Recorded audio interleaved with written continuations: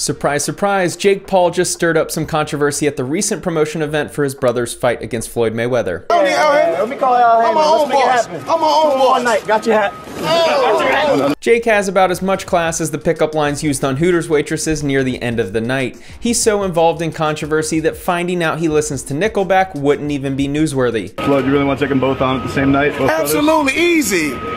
You got two fake fighters. A fake fight. I'm a real fighter. The fighting world is having a meltdown with Jake Paul wanting to become a legitimate boxer. His older brother Logan, sporting a 0 1 1 record, has superseded the traditional route of earning your way to the top by beating every challenger in your weight class by just skipping all these steps and jumping into the ring with the greatest. Dana White, UFC fans, and boxing fans are all perplexed how these brothers are earning respect as fighters when they're not even real fighters. Why is this happening and why haven't they been stopped? And boomers are wondering why these YouTubers are always in the news. What's YouTube? In this video, let's quickly discuss why they make so much money, how much money they make, and why they are becoming boxers.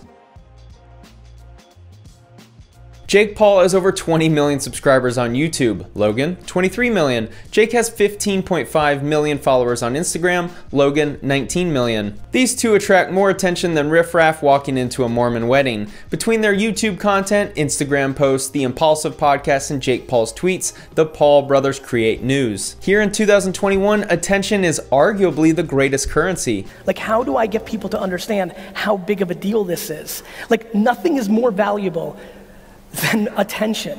It's the only, I literally value attention equal to oxygen. This may sound a little bit extreme, Gary, but he does have a point. Why is attention so important? Because of advertising and commerce. Advertisers rely on the attention of consumers in order to pay content creators, whether it's AdSense from YouTube ads, sponsored posts on Instagram, or affiliate marketing by promoting another brand's products. Creators rely on attention to generate income. The Paul brothers generate as much attention as anyone else on the social media platforms. In just a minute, we'll discuss how much they're actually making, but the root of their income is based on getting you to watch them. Yes, the amount of times my like PR team or like my review guy Jed, shout out Jed, have been like, "Well, there's never a dull moment." I'm like, "Yeah, I wish there was." Yeah. say ah, there was once. It was a, it was a Tuesday. There was a dull moment on a Tuesday. One that was time. it. One yeah, time. That was it. In how many years? Ten years? Yeah. This is the pivotal thing to understand about creators. You may hate the Paul brothers, you may comment on their news posts, why are these two clowns still relevant? Won't they just go away? Or you may watch their YouTube videos,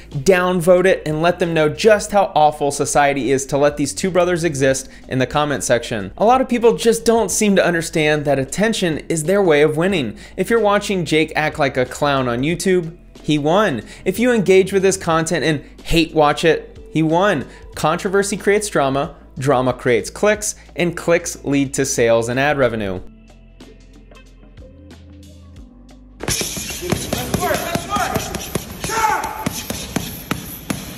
I'm not a boxer. Dana White betting against me, he's gonna chicken out of the bet. But tonight, This video on Instagram has 4.1 million views. In a recent video, I used a clip from Colin and Samir's interview with Ian from SeatGeek about how much to expect with brand sponsorships. Let's assume the $20 CPM that was stated in that video. For 4.1 million views, Jake would earn 80 $2,000 for that single video. My guess is he actually commands more. Let me repeat for you to understand. 4 million views, at least $20 per 1,000 views, $82,000 for about 30 seconds of work.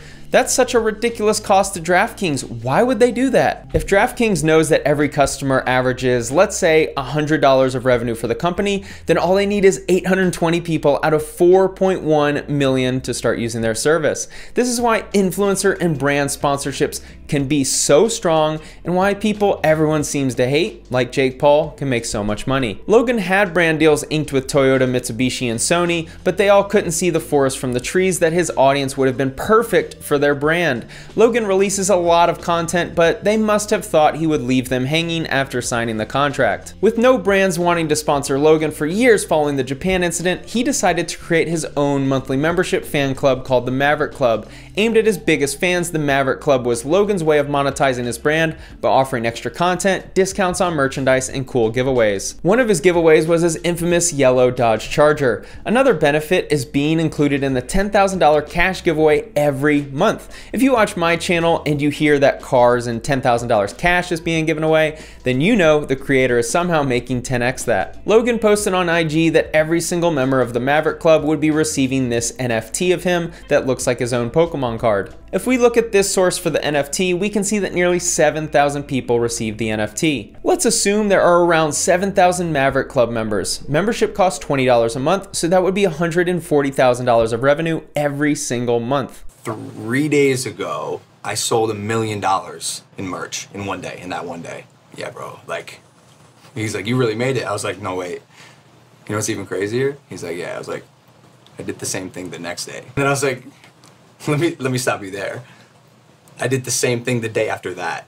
$1 million revenue days back to back to back with his merch. Unfortunately, there's no way of knowing how much Logan makes from merchandise sales, but this gives us a general idea. The three days he was talking about were the e-commerce goldmine days surrounding Black Friday and Cyber Monday. Since sales generally explode during that weekend, let's assume his sales were 4x what they are for every month. I wouldn't be surprised if his monthly merchandise sales are around $750,000. His warehouse is massive, so I know he's doing serious volume with his merchandising. Let's take a completely uneducated guess and estimate he's generating 8 to $10 million every year from Maverick clothing. I don't think that number is unattainable. 10% profit margins would put him around a milli a year in net profit. Jake also has his own merchandising. Whatever the real number is for both of them, know that it's seven figures. You don't buy the houses they buy without earning serious dough. That's that's see that's the problem. My my monthly expenses are like I don't even know if I can say this, bro. Like I quarter million dollars a month.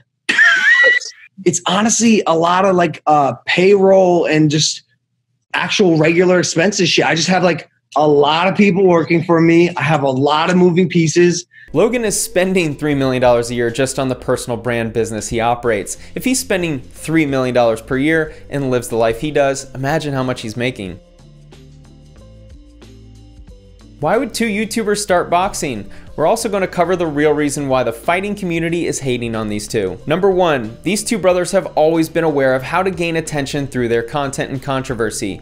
Boxing marked the revival period for Logan with his fights against KSI, and for Jake, Boxing created great content for his fight against AnEsonGib. Boxing provides anticipation, build-up, and months of content before the actual fight. A lot of trash talking and drama happens before fights as well, which keeps their name in the news constantly. Number two, obviously the money. Jake Paul earned $690,000 for fighting Ben Askren, plus pay-per-view points. Depending on the contract, Jake could have and likely earned multiple millions of dollars out of the $65 million or so the fight allegedly generated. Logan is about to fight Floyd Mayweather and will earn probably $10 million. Is that what we're talking about? Talking about hundred million dollars? Is that are those the type of numbers we're I, talking I'd about? Like to, I'd like to gross. I'd like to gross hundred million dollars. Obviously, I wouldn't be making hundred million dollars. Can you walk away with twenty million dollars doing this fight? I could. I could. Yeah.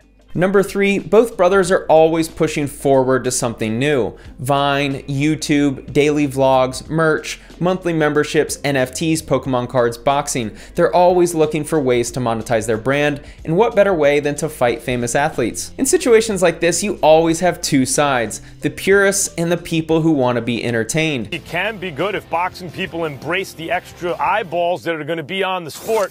People who are complaining, oh, it, you know, devalues and it turns it into a sideshow. Boxing's already marginalized. Purists always want people to follow unwritten rules and to do things the way they've always been done. Others just want interesting. Is there drama? Are there cool storylines? Is it interesting enough to watch? You saw this recently with Tim Tebow playing baseball in the minor leagues. He hadn't played baseball since high school, but because he was well known, he was given a chance in the minor leagues over someone more deserving, the purists would say. It's interesting. It's going to see how long it takes before this kid's 15.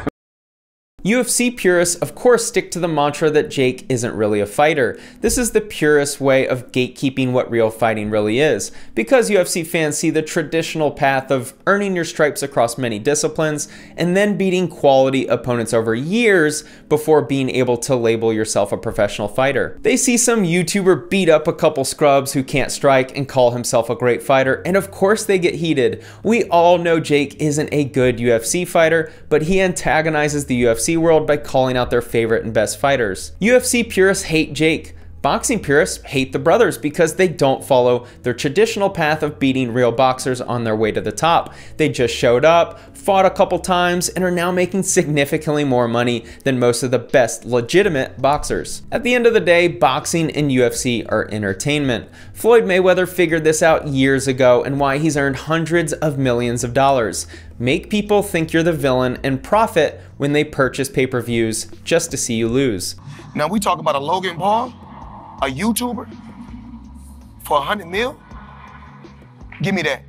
Jake and Logan fighting is interesting. People can say they hate him, boxing purists can say it's ruining the sport of boxing as if boxing is some elaborate piece of China that hasn't been touched since the Han Dynasty. Interesting brings attention. Attention means eyeballs. Eyeballs and clicks drive sales and ad revenue. Look at people's behavior, not their words. Floyd Mayweather sold millions of pay-per-views each fight because people wanted to see him get beat. The same will happen with the Paul brothers. With all three, they will make millions win or lose. Logan hasn't won a boxing match and is about to make eight figures boxing the best of his generation. They get your attention whether you like them or hate them, and that's ultimately why they make millions of dollars every year. Just admit that you're at least a little curious if Jake Paul can beat real boxers and if Logan can actually land a punch on Floyd. I am. Thanks for watching.